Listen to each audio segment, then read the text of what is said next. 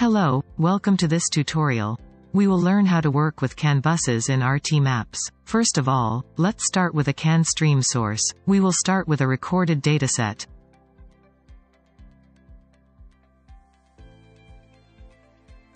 Just drag and drop a .rec file on the current diagram.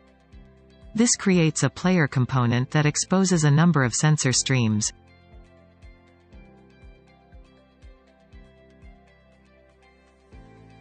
For display purposes, let's add an image viewer component to visualize the front camera.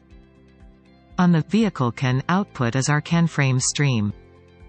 Instantiate a CAN frames viewer component to display the raw frames.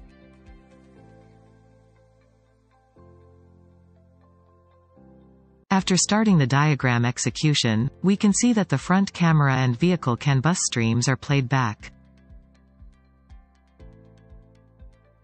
Now let's see how to decode the CAN data.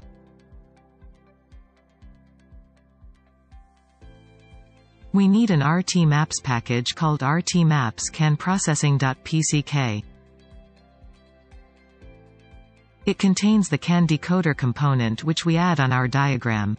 This component accepts CAN frames on its input, and requires a .dbc file in its database property.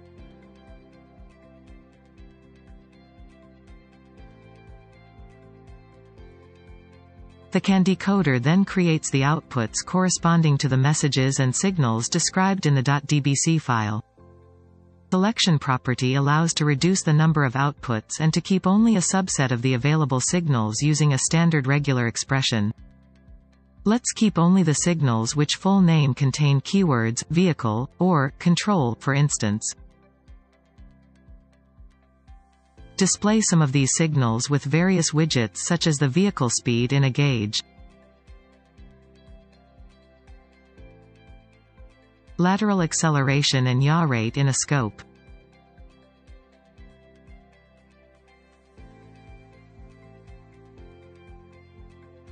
Brake pedal state in a lamp widget. Since the output was filtered out, we can retrieve it by adjusting the selection property.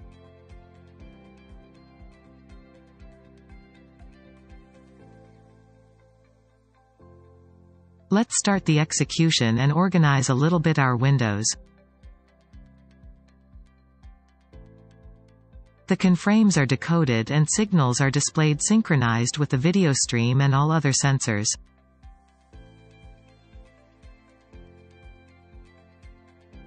Adjusting the scope scales.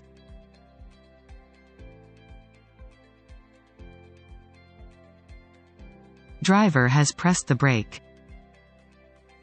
We can always rename the widget titles.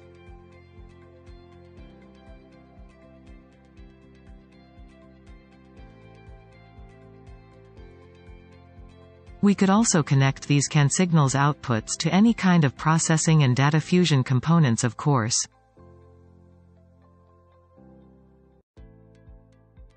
Now we will learn how to connect to a physical CAN bus for data acquisition and command control. Let's first remove the player component from the diagram.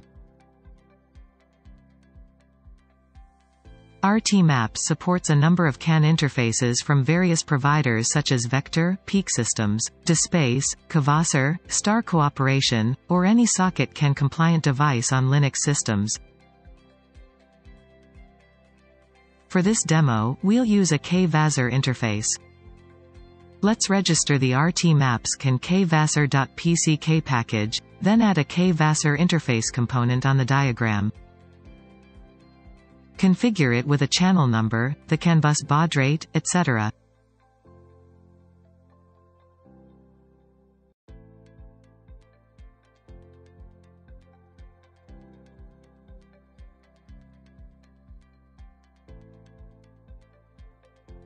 This way, we get our CAN frames acquired from the bus, and we can connect this stream to the CAN decoder.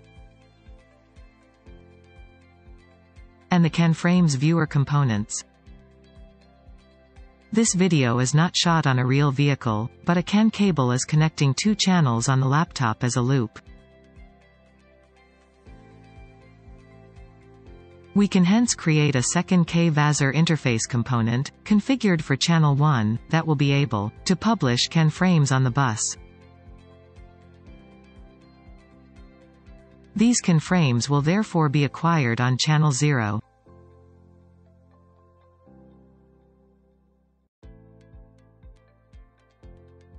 We then need to publish CAN frames to this new component input. Let's use a CAN encoder component which can generate CAN frames out of various signals, the opposite of a CAN decoder.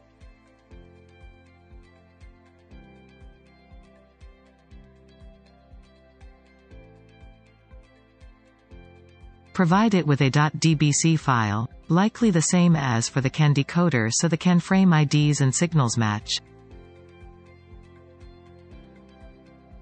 Then feed its inputs with signals that we will generate here using input widget, such as knobs. Let's build a bar with three knobs.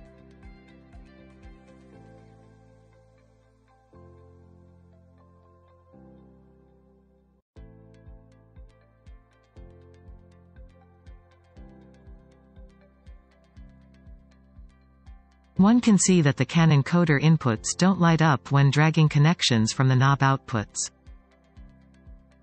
This is due to a data type mismatch. We can check this, the knob outputs provide 32-bit floats while the CAN encoder inputs we need accept only 64-bit floats.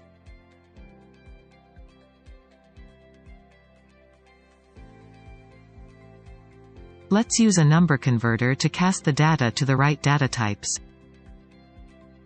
Now we can connect to our three signals, transversal acceleration, yaw rate and vehicle speed.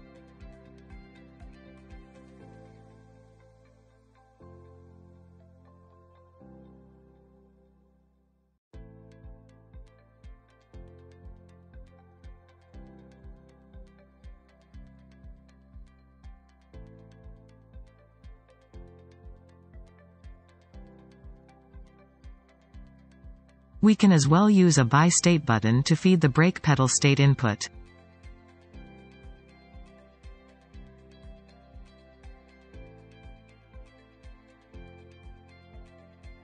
Last but not least, we uncheck the wait for message completion property of the CAN encoder.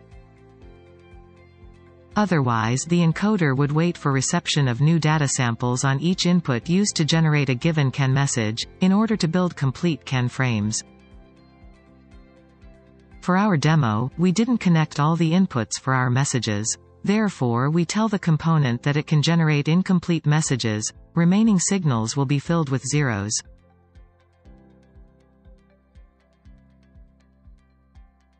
As a summary, we get signals from whatever components, other sensors, processing component or like here, input widgets. We encode CAN frames based on these signals, publish the frames on a physical CAN bus. Acquire them in parallel via a different channel as if they would come from the vehicle, decode the acquired frame, and display the decoded signals. We can now verify that the actions on the input widgets go through the entire data flow to the corresponding display widgets, via a physical CAN bus.